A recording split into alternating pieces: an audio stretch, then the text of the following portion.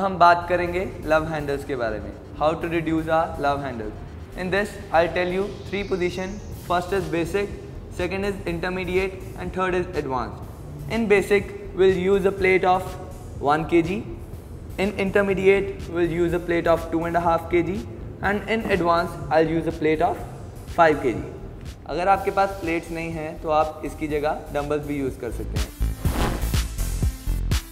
So first of all, let's start with basic level in which lie down straight.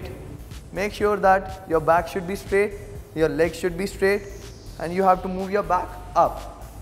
Hold your plate in your hand, go side, side, left and right, left and right, left and right. अब मैं आपको बताऊँगा breathing process के बारे में.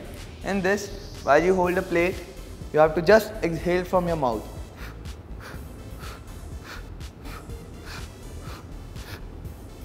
And relax.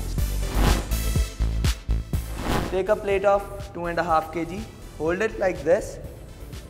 Your back and your legs should be straight. Again, right and left, right and left, right and left. Again in advance, we'll use the plate of 5 kg. Your back should be straight, your legs should be straight, right and left, right and left, right and left. Again up and keep it down खेल और fitness के बारे में अधिक जानकारी के लिए log on करें ओनली